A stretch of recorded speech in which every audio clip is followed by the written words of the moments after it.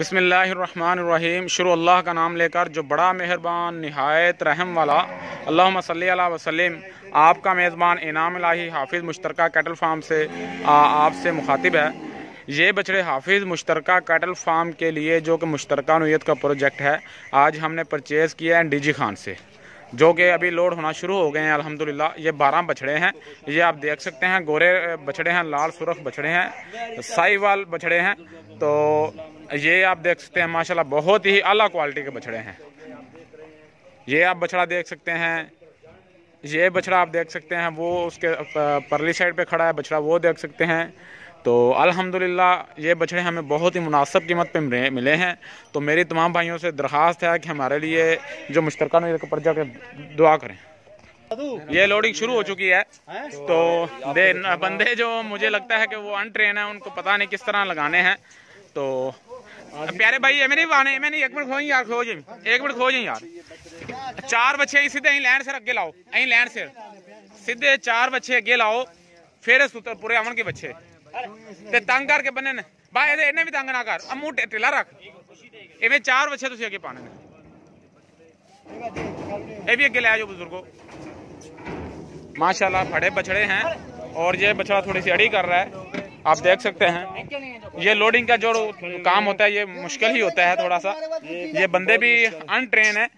है तो प्रोफेशनल जानवरों के, लेकिन लोडिंग के अनट्रेन है, जहाँ तक मैंने फील किया है। उनको नहीं समझ के किस तरह लोडिंग करनी है और इनकी रूटीन क्या रखनी है। तो अल्हम्दुलिल्लाह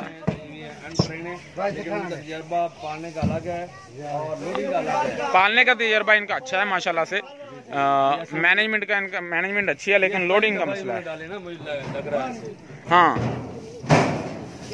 प्यारे भाई अगे सीधे चार अं लैन सिर अं बच्चे पाने सीधे अं फिर चार पिछे फिर चार पिछे पै जाएँगे। सारा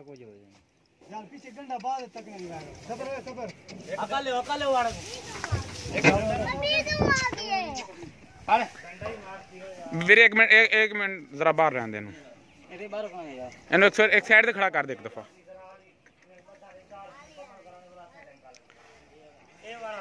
तमाम भाई माशाल्लाह देख सकते हैं हाफिज मुश्तरका कैटल फार्म की जो परचेजिंग है कुर्बानी के बछड़ों की वो बहुत ही ज़ोरों शोर से जारी है और बहुत ही खूबसूरत बछड़े हाफिज मुश्तरका कैटल फार्म को और इंतहाई मुनासिब कीमत पर मिले हैं जी तो बनी जावन जिमें उन्होंने समझ ला दी बनी जावन अगे मंजी ना बनो मंजी टुट जाएँगे अगे बन दो अगे बन दो मंजी टुट जाएगी मंजी टुट जाएगी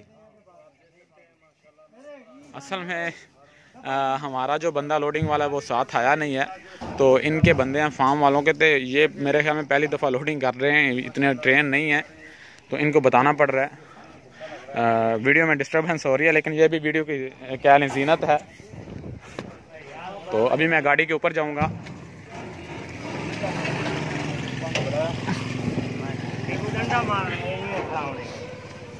ये देख सकते हैं सही है।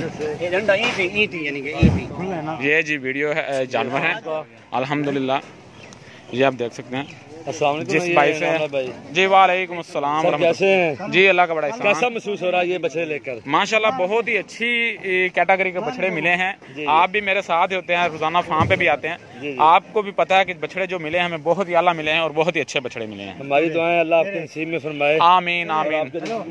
कारोबार में बरकतें फरमाए। आमीन आमीन। खुश हुआ ये बछड़े देखकर। जजाक अल्लाह जजाक। तो भाइयों को ये जो फार्म हमने लिया है जिस फार्म से हमने लिए हैं बछड़े ये फार्म का व्यू है मैं दोस्तों को दिखा रहा हूँ। ये उनका फार्म है। माशाल्लाह इनके फार्म की मैनेजमेंट बहुत अच्छी है। सफ़ाई का निज़ाम बहुत अच्छा है। वर्कर इनके बहुत अच्छे हैं। इनका इखलाक भी माशाल्लाह से बहुत अच्छा है। आपको हमारी वीडियो अच्छी लगे तो ये इन्होंने इधर तालाब बनाया है भैंसों के लिए। ये सारी चीज़ें। तो अभी बाकी भी बछड़े इंशाल्लाह लोडिंग हो के लिए आ रहे हैं।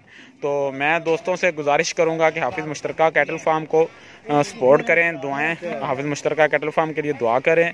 और जिन दोस्तों ने अभी तक मेरे चैनल को सब्सक्राइब नहीं किया वो प्लीज़ मेरे चैनल को सब्सक्राइब कर लें। तो अभी फिल वक्त के लिए इतना ही, मैं लोडिंग के लिए उनकी हेल्प करने लगा हूँ। तो अस्सलाम वालेकुम तो नंबर मेरा नोट कर लीजिएगा, ज़ीरो तीन सौ एक चालीस अठतीस ज़ीरो पच्चीस। Inam Ilahi zero three zero one four zero three eight zero two five. जी असल वरहमतुल्लाह।